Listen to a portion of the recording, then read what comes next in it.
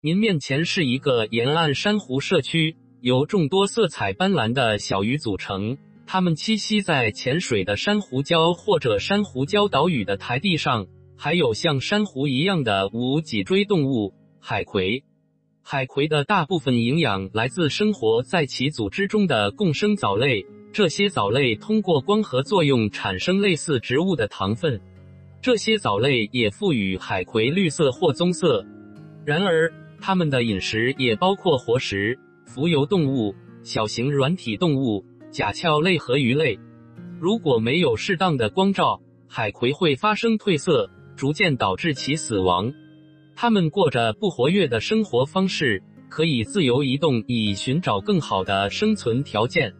海葵像珊瑚一样通过分裂繁殖，浮游又体会漂浮在水中，直到找到合适的机制。它们与青地毯海葵。生活在坚硬的沙质和岩石质地的浅海区域，有时直径可达七十五厘米。鹰类蓬锥海葵有多种形态，包括粉红色、橙色、红色和标准的绿色，直径可长到三十厘米。它们是最活跃的海葵之一。当水质参数稍有变化时，就会开始移动。